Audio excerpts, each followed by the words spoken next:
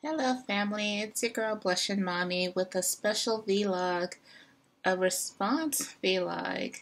I recently, actor Taye Diggs made a very controversial statement regarding his biracial son, stating that his son should not be viewed as a black man, but rather as a biracial one. And of course this has caused a whole lot of drama on these internet streets.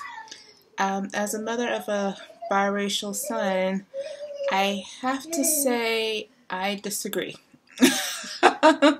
Let's just keep it 100. Um, you want to join me? I'm talking about you. Yeah, this is my biracial son who has. Is that peanut butter on your face? I think that's peanut butter on his face. Yeah, that's you. We're doing a vlog.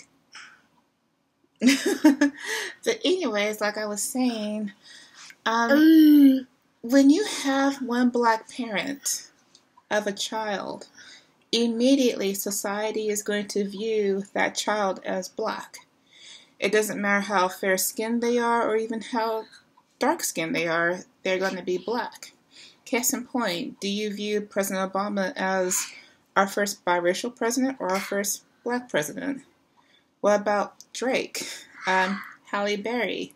The list goes on and on. There are many uh, biracial, um, half black celebrities who choose to identify themselves as black because society views them as black. They don't have a choice in that matter.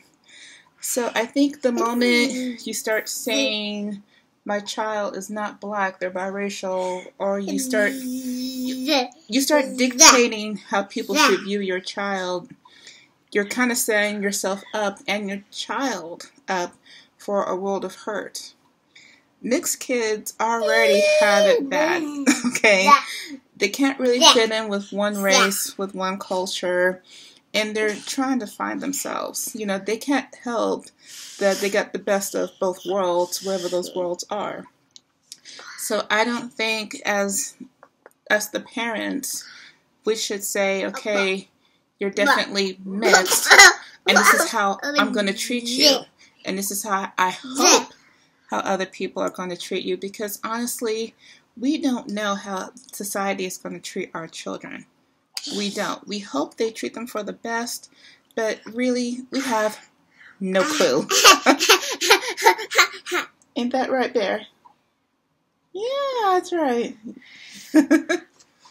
so, in my response to Mr. Diggs, even though your sentiment was in the right place, because I do understand where he was coming from, I also believe that it really isn't your cause to say. I think the focus should be more on. the cause should be more. Fo- uh, I'm uh-huh. trying to vlog here.